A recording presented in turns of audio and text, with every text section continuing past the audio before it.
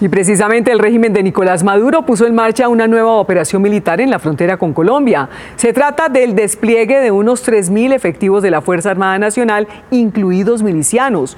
El comandante del operativo denunció que Colombia no colabora con la vigilancia en la zona.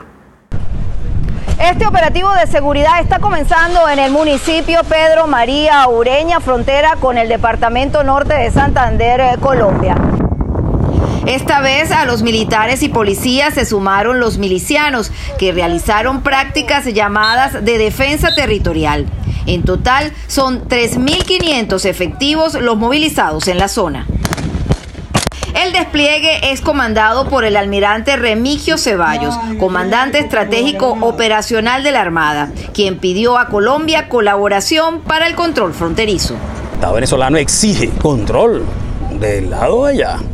Aquí no tenemos ningún tipo de cooperación de parte del ejército colombiano, ni de parte del gobierno colombiano.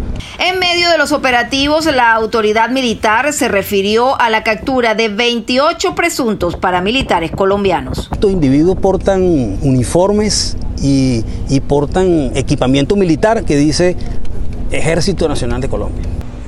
El almirante en jefe recalcó eh, que no necesita el apoyo de los efectivos militares eh, colombianos eh, para hacer efectiva las detenciones de guerrilleros y paramilitares. En la frontera colombo-venezolana, Fabiola Niño, Noticias, Caracol.